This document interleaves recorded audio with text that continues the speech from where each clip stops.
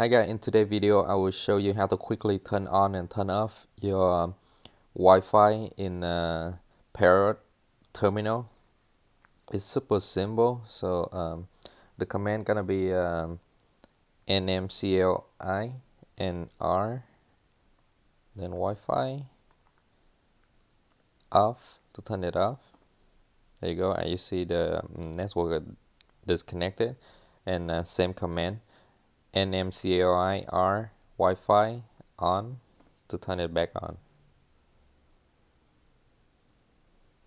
And as you see, is the Wi-Fi is coming back on.